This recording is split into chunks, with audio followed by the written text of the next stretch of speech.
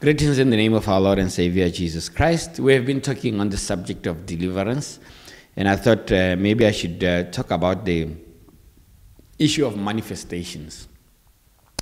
Many times, um, this ministry of deliverance is um, criticized because of uh, the manifestations that usually accompany it. I've heard people mocking the fact that uh, you know people throw up during deliverance. Eh, you know like you make people uh, to throw up.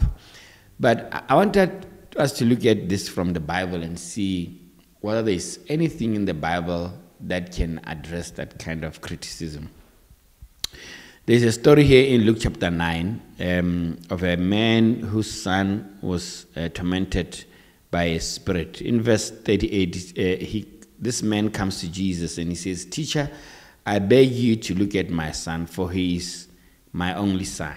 A spirit seizes him and he suddenly screams. It throws him into convulsions so that he foams at the mouth. You know, this is how this particular spirit manifests itself. It, it makes him uh, uh, have foam or things coming out of his mouth, which can, which can be very disgusting. He says, It scarcely ever leaves him and is destroying him. I begged your disciples to drive it out, but they could not. Of course, Jesus was rebuking the disciples for not having faith there, and he says, Bring your son here. In verse 42, even while the boy was coming, the demon threw him to the ground in a convulsion. But Jesus rebuked the impure spirit healed the boy, and gave him back to his father. And they were all amazed at the greatness of, of God. So, what we see here is that uh, when you are praying for somebody and they have an evil spirit, you can never really control how they are going to manifest. And sometimes uh, there are convulsions, as you see there, they roll on the ground, and sometimes they throw up. And it is all in the Bible. We see all of these things uh, happening. And so if we are too concerned about how a person manifests before they are delivered, we may miss what God wants to do in bringing freedom uh, to, to, that, to that person.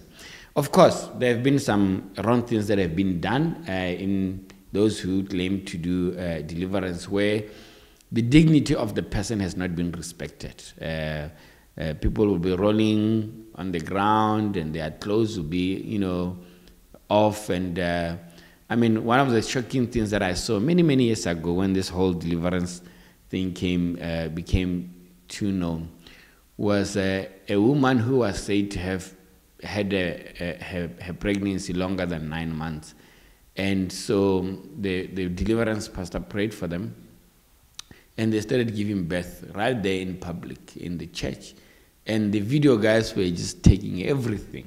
I mean, uh, that is just not right. The dignity of the person is not respected. And so when we, we ministers um, are not careful on how we do things, that's where we, we will bring, you know, our ministry in disrepute. And I think uh, as ministers, sometimes we have to instruct our media guys to say, look, if there are things like that happening, we need to make sure that we zoom out, we face somewhere else, uh, it's okay when somebody gives a testimony of what the Lord has done, but to take a, a live video of somebody giving birth and that child one day will grow up and they will see uh, these things and how will they feel about their own mother uh, you know with everyone seeing them in public. We need to think about these things and that's where uh, sometimes i think we go wrong.